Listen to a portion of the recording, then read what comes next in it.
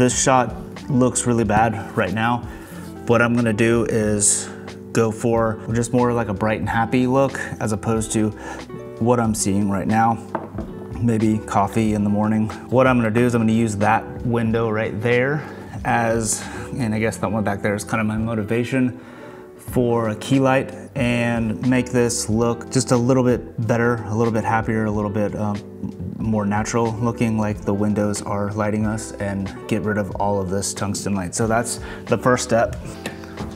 Now it's obviously really dark. That's kind of a good thing because now we can control the light even more. So now I'm gonna use the Sekonic C800 and I'm getting 6500 Kelvin.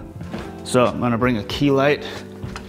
I'm gonna put a key light right here. I'm gonna use the Amaran 200 XS because I can dial in the color temperature since it's bicolor. This was already set up from my office, which makes it a lot easier for this video. Okay, so that's 5569 here, uh, but I don't like how hard that looks, so I'm going to soften that even more. I've got magic cloth on here. That'll soften it up a ton. It'll lose a bunch of exposure, but I don't think that's gonna be a problem. So that looks pretty good. I might bring it down a touch and then I think the background needs to have a, a little bit of exposure lift just to kind of balance it out and make it look a little bit less moody and more natural. So I'll bring in this light, the iFootage 200 BNA.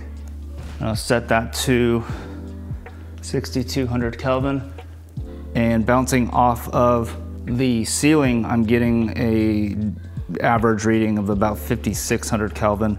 If I cool it down a little bit more, if I cool it down more, I get a reading of 5700 Kelvin.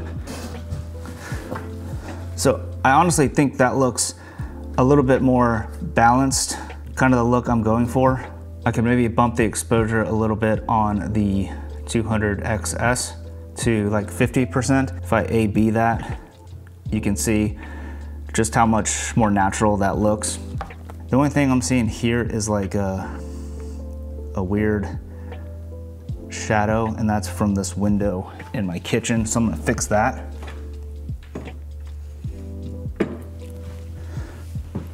Then that gives me a much better contrast level there. I'm pretty sure I'm in focus. I've got edge focus on right here.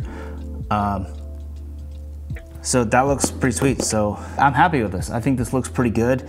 And you can kind of see like it looks more natural now. And my memory card filled up. So I had to go put a, a new one in. So um, this Sekonic C800 is kind of, is kind of the, the topic of this video and also I guess a lighting breakdown. It is such a useful tool to have in your kit, just knowing what color temperature your light sources are. And like for example, like right here, I'm getting, I'm getting 5600 Kelvin with a color correction of 0.7 M, which would mean it's uh, a little bit on the greener side, which is kind of a good thing because the 200 BNA, the iFootage that I have back there, uh, also just naturally just tends to be more green than my Amaran 200 XS, so that actually kind of works out. But if I were to bring in a Nova or some other light to act as just a small fill, I would know to dial in those settings and, and dial in the settings while looking at this to make sure I was getting the same reading, 5600 Kelvin, and a 0.7 M color correction. Sorry, my kid's freaking out because I'm taking the kitchen hostage and my wife is probably stoked about me right now too.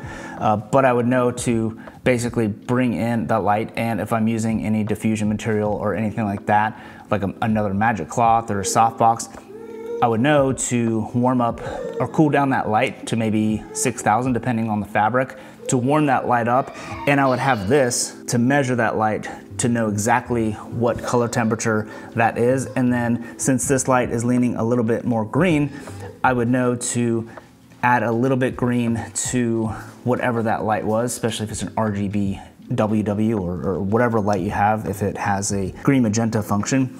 And that's super helpful to be able to, to use this tool and make those corrections on the fly and not have to get back into post-production and realize that one of your lights is super off, whether it's super green or magenta or super warm or super cool. Having a tool like this, you'll know exactly the, the light and, and the color of light for all of your lights so you can make your white balance decisions on set. So that's pretty much it for this video. I'm gonna wrap it up. I'll see you in the next video. Peace.